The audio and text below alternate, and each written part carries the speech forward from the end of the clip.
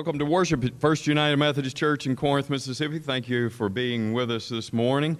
Please register your attendance with us on those inside aisle pew pads. Pass them down your pew and back so we know with whom we're worshiping. We promise not to. Uh, uh,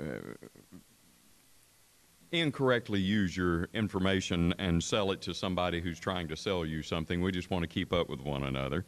Um, inside the bulletin, there are a couple things we need to be aware of and a couple of things that aren't in there that we want to encourage you about is the responsibility we have as First United Methodist Church to be the peanut butter church. Remember that? We are those who provide peanut butter to the Amen Food Pantry, uh, and the stores are getting low. So the next time you're in a grocery store, pick up an extra jar or two of peanut butter.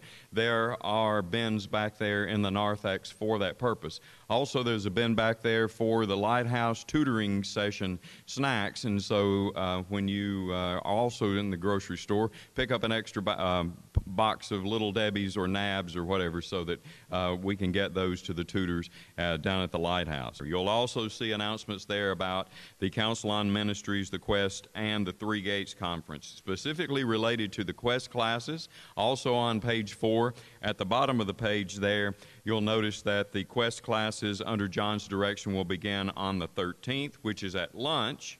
Now, this is Super Bowl Sunday. All right?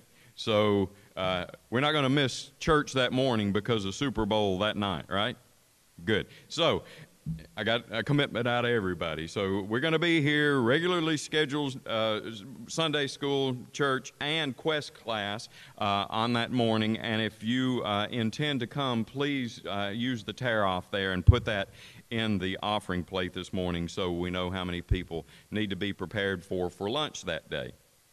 Also, back on page three at the bottom of the page, related to the Corinth Music Club, we need to be aware that that is a, going to occur this Thursday, the 27th. That is down at the chapel, and the Lisa Lambert Band will be with us.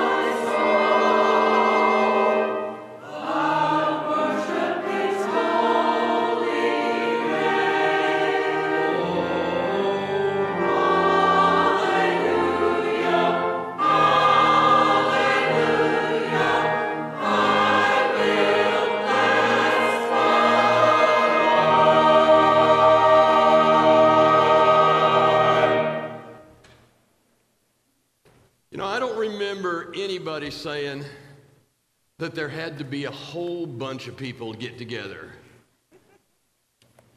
to worship God. I heard two or more.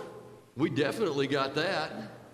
But it is a great time for us, whether we are together in large numbers or in small numbers or individually, to lean on God's everlasting arms. Please join us as we open our worship service.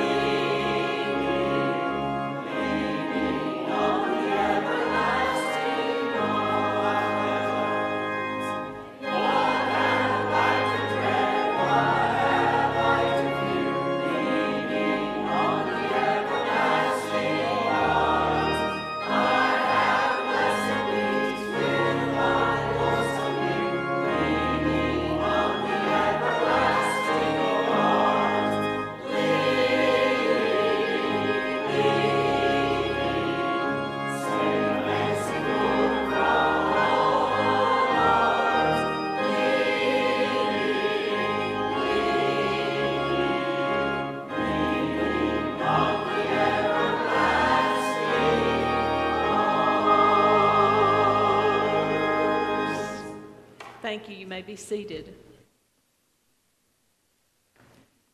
Good morning, church. Good morning. I think there are a lot of people here, Dave. so glad to see each and every one of you this morning. I'm Ginger Jones Holland, if you have not known me in the past, and I'm so thrilled to be back home and to be able to help John in this new year and to be with all of you that I love so much. He won't be with us the next couple of Sundays, so this morning we're blessed to have Bud uh, with us to preach today, and next Sunday Kim Ratliff will be with us uh, to preach, so I know you'll look forward to that. There are many things that we share as the body of Christ together. So let's go to Him and let's pray.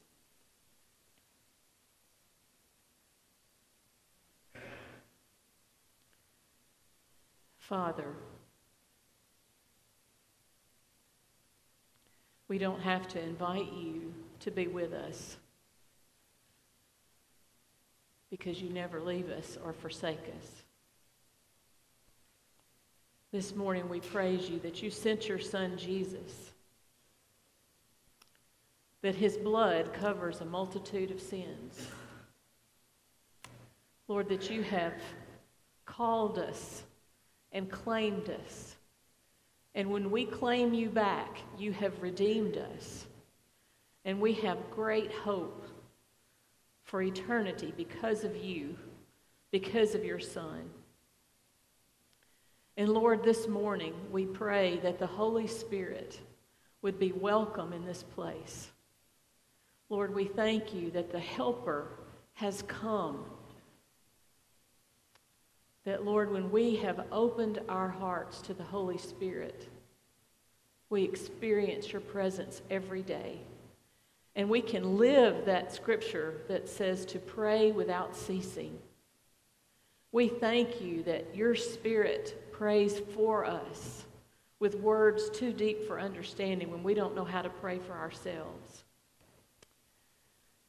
And Lord, there are so many names on this list. Lord, let them not just be a list. Lord, let us truly and deeply love and care for one another. Lord, you've called us to lay down our lives for one another. That means many different things. So, Lord, help us to care. Put a deep yearning in us to know you more and more put a deep desire for us to reach out to a community, many who don't know you or who don't have all they need or who are desperate and in despair. Lord, thank you that your word tells us that we don't have to live in fear. We live in a day that's different than any other day that any of us has ever experienced. And Lord, we praise you that none of it surprises you, that your spirit, you give us hope. Your word that reminds us to be of good courage, to not fear, for you have given us a spirit of power and love and a sound mind. So, Lord, we claim those sound minds and the wisdom that you give us to live, to work, to worship, to love. Lord, draw this body close together. Draw us close to you. And Lord, give us a heart for all those in this whole community that know and love you. Lord, we pray for the unborn. We pray for our nation. We pray for the Supreme Court. Lord, we pray for so many decisions being made. We pray for those in authority that have the right to make decisions for us. Lord, that they would seek your face and that they would obey your word and your law. Thank you, Father, that we are not alone. Thank you that you love us and you've provided everything that we need. We pray together the prayer that Jesus taught his disciples to pray together Our Father, who art in heaven, hallowed be thy name. Thy kingdom come, thy will be done, on earth as it is in heaven. Give us this day our daily bread, and forgive us our trespasses, as we forgive those who trespass against us. And lead us not into temptation, but deliver us from evil. For thine is the kingdom, the power, and the glory forever. Amen. Now, if you would please stand and join me as we affirm our faith with one of the ancient creeds of the church, the Apostles' Creed. It's found in your bulletin. I believe in God the Father Almighty, maker of heaven and earth, and in Jesus Christ, his only Son, our Lord who was conceived by the Holy Spirit, born of the Virgin Mary, suffered under Pontius Pilate, was crucified, dead, and buried. The third day he rose from the dead. He ascended into heaven and sitteth at the right hand of God the Father Almighty. From thence he shall come to judge the quick and the dead. I believe in the Holy Spirit, the holy Catholic Church, the communion of saints, the forgiveness of sins the resurrection of the body, and the life everlasting.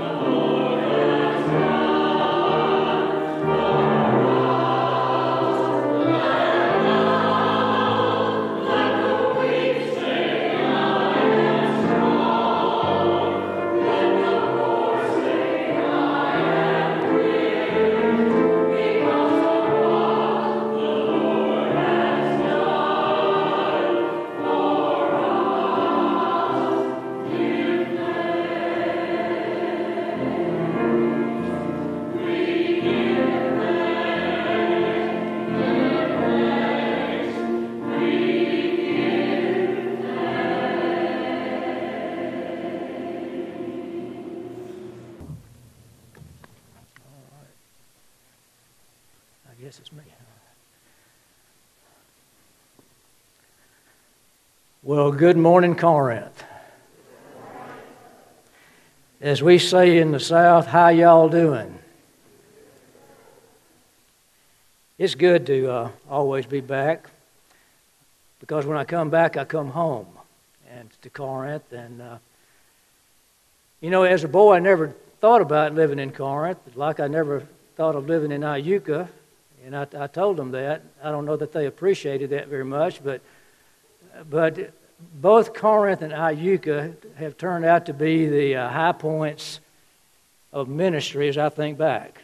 The two places probably, and it's not, you know, the two places that have blessed me the most. And uh, I'm glad to be on the team. Some of y'all know that the cat has come back.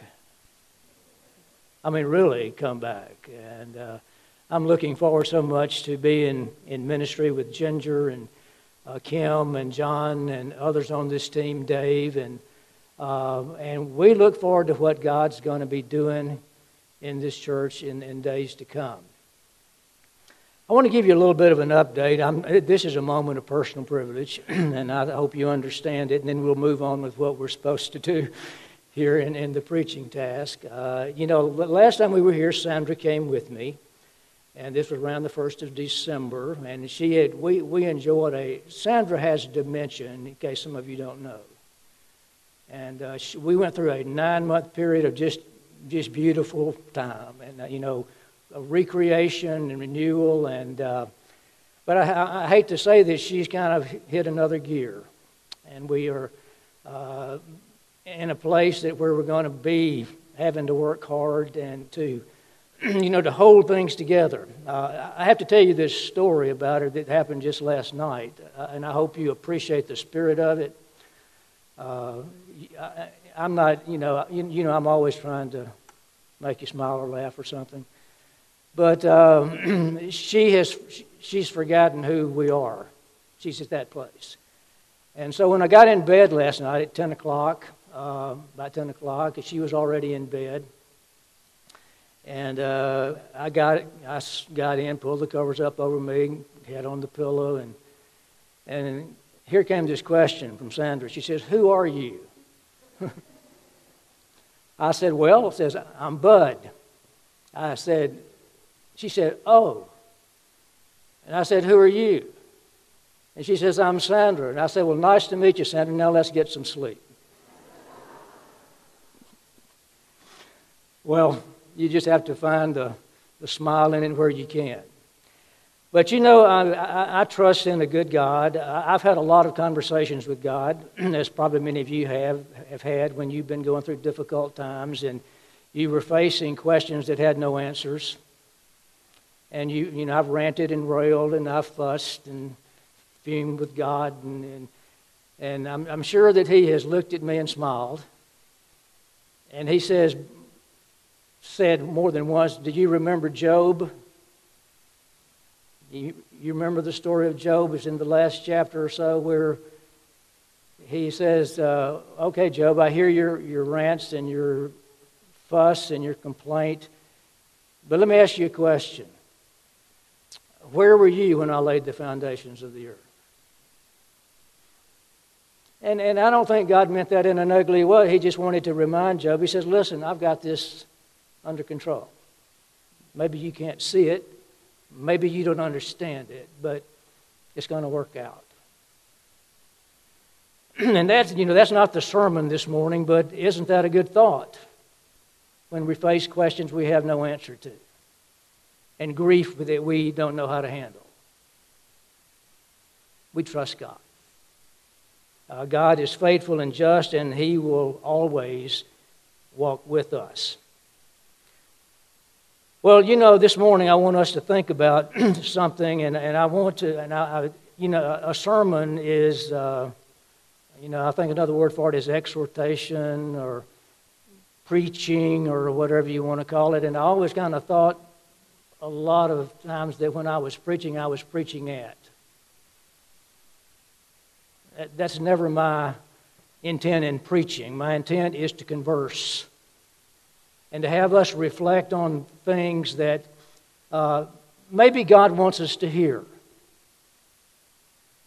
You know, when, when, as you listen this morning and as I talk, I, I want you to understand this in a conversational way. We're having a conversation. And we're going to have a conversation around the words of Jesus. And, and, and if I am correct, uh, th- these, these words that I'm going to read from Matthew chapter 6 uh, come from a visit that Jesus and his disciples made to the temple. It, it may have been the third visit that they had made to the temple. Now, imagine the temple, uh, and as you will, it in, in its heyday, it was gleaming gold and dazzling white.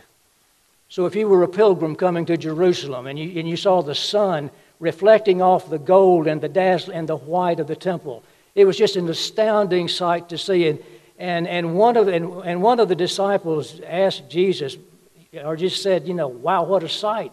This is going to just be here forever. Will it not? And, and Jesus took the opportunity to respond in this way. These are beautiful words that I think you're probably familiar with.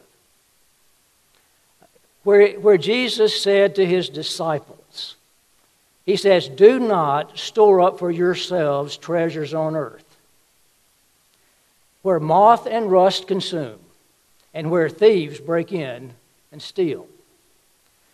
But store up for yourselves treasures in heaven, where neither moth nor rust consumes, and where thieves do not break in and steal. And hear the powerful words. Boy, these are just like a dagger to the heart. For where your treasure is, there your heart will be also. In the day of Jesus, in the day of Jesus, uh, in that part of the world, an individual's wealth often cons- consisted in, in fine and elaborate clothes, unless you were really poor. There's a story about Gehazi, the servant of Elisha, who, who, who wished to make some forbidden profit out of the prophet Naaman after his master had cured him. And so he asked him for a talent of silver and changes of clothing. You know, most of us here this morning, uh, we don't have room in the closets, you know, for all the clothes we have. In that day, clothing was a luxury, especially fine clothing. But Jesus said, Don't get your heart too set on your fine clothing. Because when you put it in storage, the moth will come. And the moth will eat and consume your clothes. And then he said he uh, something about things that rust. Now, in, there's a the word that is translated rust here in the passage literally means eating away. Eating away. And, and this is the only place here in Matthew where the word is used to convey rust. Do not store for yourselves treasures on earth where rust consumes or eats away. William Barclay suggested in the, in the, in the Middle East that, that the wealth of many individuals uh, consisted much in, in corn and in grain that were stored away in barns. And the problem came when the worms and the rats and the mice would infest the grain and render the store polluted and destroyed. That's really more what it means. Don't store up for yourselves treasures on earth because something's going to come in and infest it and eat it up, and it will rust away and will no longer be of use. And then Jesus said, Avoid treasures which thieves can break into your house and steal. I call the security company with whom we do business. Maybe you're like me, you're, you have, you know, security system where, you know, if, I hate it when I forget that it's on and walk out the door. I, in fact, uh, one of the things, and it happens, I think, with age, and I admit to it, Nine times out of ten, when I back out of the driveway, I put the garage door down. But I forget that I put the garage door down. Anybody resemble that remark? So I wind up going around the block just to be sure that the garage door is down. I took care of it the other day. I made a call. I said, Do you have anything in your store that I can put on my garage door opener that will let me know when my door is up or down? It's going to be installed Friday. Praise the Lord. In the Middle East, they didn't have such things in Jesus' day. In fact, most of the homes that people lived in were just uh, thin walls made of adobe mud. So it was real easy, you see, for a thief just to dig through the wall and to get at your treasure. Jesus says, don't put your trust in treasures where people can dig through your walls and steal all that you have. Well, it's not walls these days where people steal your money, it's the internet. Been through that twice in a year. Once a ransom note. It was I, I, again. I try to find humor in it because someone says, "I want you." To, they want me to send one thousand. Uh, what is it? Uh, what's that new coin? The okay, whatever it is. But but I, you know, they say oh, we want a thousand dollars in Bitcoin. I don't I don't understand that stuff. But I think, you know, one Bitcoin may be worth several thousand dollars, so I think they were asking for about a million. And I laughed and I said, Well, good luck. Wait on. it ain't coming. That's the world we're in. Is anyone like me and just a little bit antsy and suspect when you go online, wondering if you've got enough security? built in to prevent that from happening? That's the world we live in. So don't lay up for yourselves treasures on earth and put your trust in those kinds of things because all of these things, the moth, the rust, and the thief, will come and take it from you. And when Jesus and his disciples were looking at that beautiful temple, they thought, well, that's going to last forever. You know what I thought was going to last forever? I thought that church downtown on Fillmore would. You know, I, I value that church more than just for its beauty because it's one of the most beautiful places that I have ever worshiped in or preached in. I was ordained in that church in 1970. So it had much value to me, much sentimental value to me. Baptisms, funerals, weddings, worship, Easter, Christmas, where your heart was touched and moved in that building. But buildings, like people, pass away. It's not the building we worship. It's not the stuff we're called to worship.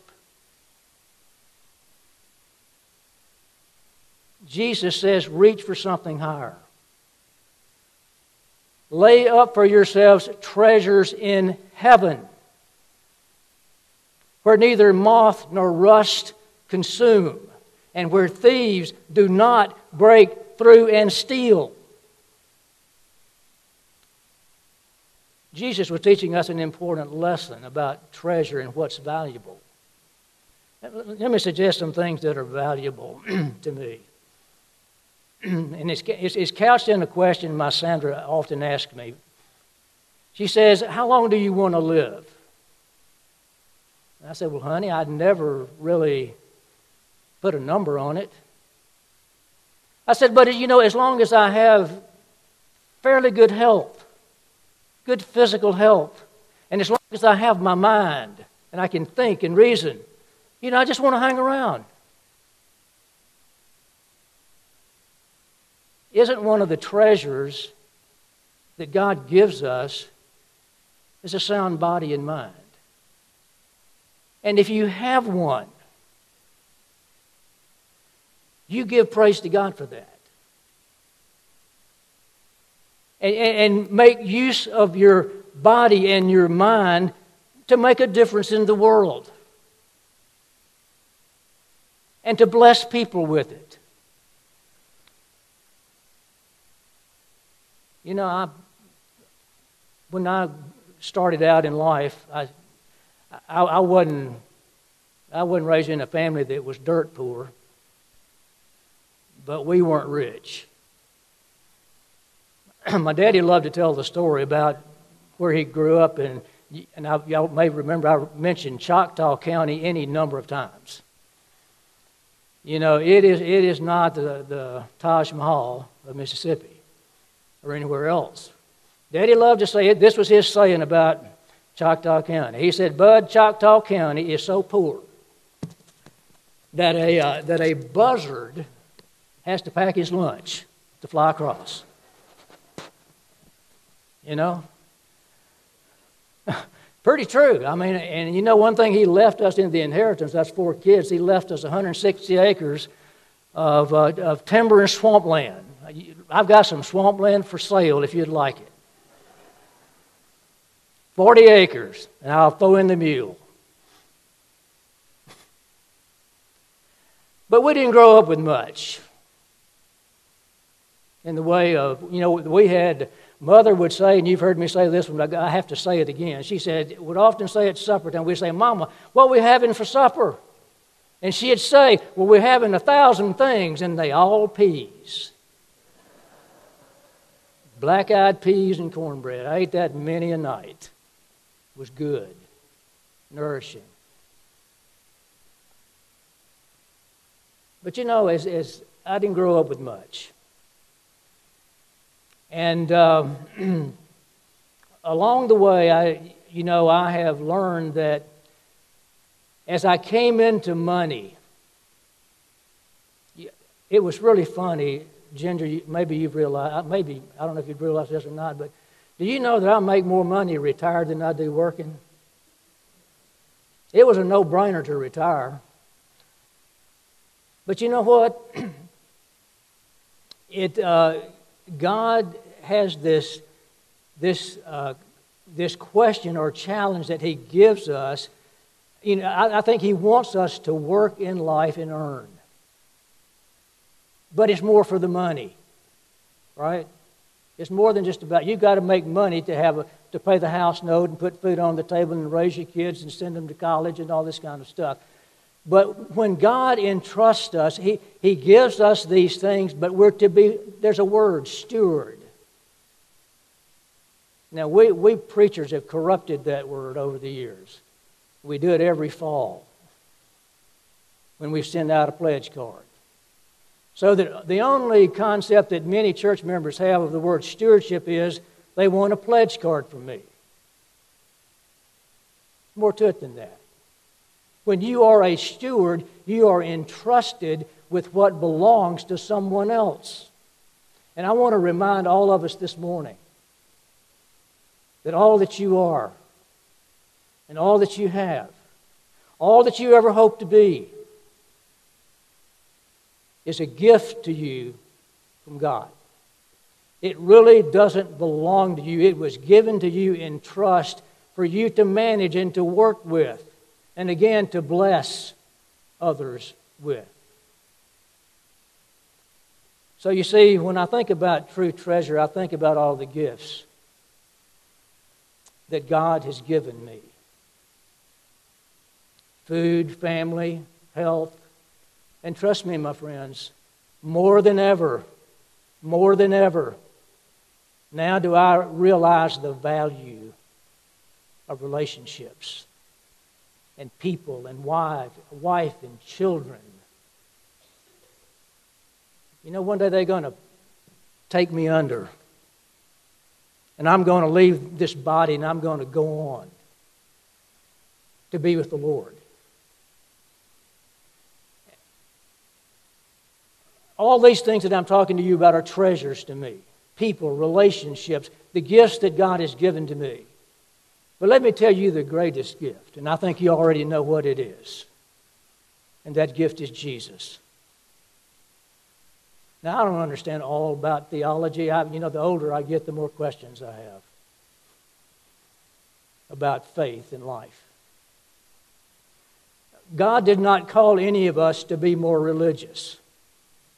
In fact, God saved us from people who just want to be religious. God help us not be just religious. What God is doing every day, I believe with all my heart, He is calling every one of us into a relationship with Him. A very personal and deep and intimate relationship. The Apostle Paul realized this so very much when he, when he talked about this treasure of faith. And here's what he says He says, We have this treasure in earthen vessels, cracked pots, sometimes pieces of clay. We have this treasure in earthen vessels that the glory might belong to God. You know, I want to spend the rest of my life reminding the church of that. And that coming to church isn't just to come to sing hymns. And it's not just to come here just to hear a sermon or to Sunday school lesson. The church is here. We come together to support one another, to love one another, even in our differences, so that the Holy Spirit might come into our hearts and continue to transform us until we find our place in heaven. That's a treasure. And you know, Jesus is the gift and Jesus is the treasure because Jesus has made all of this possible. He has bridged the gap. He has cleaned the slate of your sins. He died for your sins. He died so that you might be reconciled to God. And trust me, we, we, we, we, we, if you're like me, you transgress every day multiple times. But Jesus Christ paid the price for all your sin. You know, when I think about just my sin, do you know your sin? Do you know it? Do you ever feel it? Does it ever make you wince when you think of it? Listen, I've got enough material to fill several novels. And I'm sorry for everyone. But if I could say one thing to you this morning, your greatest gift in this life, your greatest treasure, is Jesus. He is your Savior. He is the King of Kings. He's the Lord of Lords. At His feet, every knee shall bow, and every tongue will confess that He is Lord to the glory of God the Father. See, Jesus says, don't look at the things of this world for your ultimate satisfaction. Enjoy them. If you've got a beautiful home, a beautiful wife, beautiful kids, beautiful car, enjoy it. But my friends, it's not going to last forever.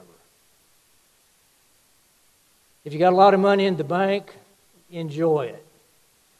Because one day your kids are going to spend it.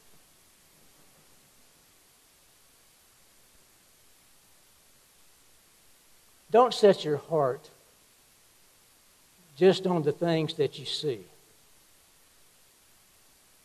and what you can touch and what you can feel. But set your hearts on the things that are above where Christ is, seated at the right hand of God. I never will forget the story of the, the black lady. I, her, her name escapes me. That's the problem of sometimes preaching without notes. she was singing at a Billy Graham crusade, and uh, she was singing this great uh, hymn, and uh, and which also escapes my memory here. But but when she finished, she she just stopped and she says to the crowd, and it was probably it was in Jackson, Mississippi, back in the back in the seventies. She just looked at the crowd, and here's what she said. She says, "I love you all." Says, "I'll be, I'll see you all in heaven." And then she finished by saying, I'll be looking for you. That's what I want to say to you. You know, I'm not about to go. I might. You know, I'm okay. I, I love to joke and, and I shouldn't joke about that, but I do. I say, you know, heaven's my home, but I'm not that homesick quite yet. There's a few, few more things I'd like to do and see in this world, but if the Lord takes me now, well and good. I'm ready. And I hope you are. I hope your heart's ready for that. Set your mind on things above, where Christ is, seated to the right hand of God. Well, friends, where's your treasure? Hear what Jesus said. Take it to heart, really. It's not like hope that you don't take this as a downer sermon like, oh, I'm not supposed to enjoy it. No, I don't mean that. Enjoy your life to the brim. Every bit of it. Savor it. Embrace it. Look at it. Praise God for it. But always realize that there's more to it. Do not store up for yourselves treasures on earth where moth and rust corrupt, and where thieves break through and steal. But lay up for yourselves what? Treasure in heaven. That's what I pray for you today. That you will know in your heart the goodness of God and the heaven toward which He directs you. May we pray. Almighty God, we give you grateful thanks for all of your good gifts. And forgive us, Lord, when we have uh, taken your gifts for granted. And when we've not been good stewards, Lord, convict us, renew us, restore us, redirect us in this life so that we might store up those treasures for heaven, which is your desire, the desire of your heart for us. Bless us and keep us in your love as we pray in the name of Christ, our Savior as, as Sarah plays, uh, you know, let's do the old old fashioned thing. If you want to come down to the altar, why don't you come down to the altar and renew your relationship and your commitment with Christ? Or if you just want to do it where you're sitting, do it where you're sitting. But I'm going to ask Sarah to play for us, and let's, let's bow in prayer and, uh, and, and, and be thoughtful of God and His working in our heart as we renew our commitment to Him.